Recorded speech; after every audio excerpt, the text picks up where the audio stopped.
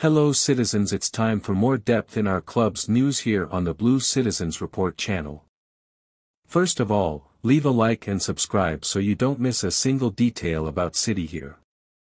Guys, look at this news I have for you, it seems that Manchester City's decision makers have a new target in their sights, and that will make all blue citizens anxious.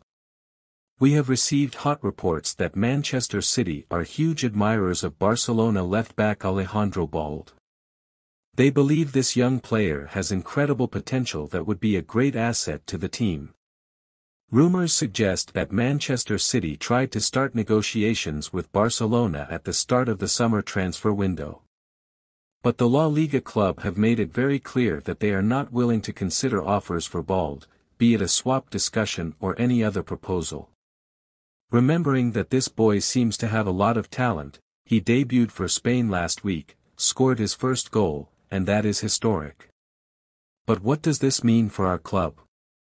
The final decision is in the hands of the managers, but one thing is certain, City is always looking to improve and bring promising talents to the team.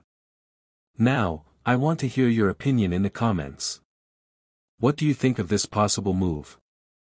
Could Alejandro Balde be the reinforcement we need? Leave your opinions and guesses below.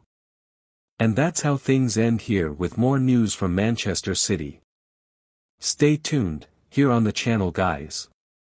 And don't forget to leave a like, after all guys, this is free, and here you will have the latest news from City, a hug and may everyone be with God.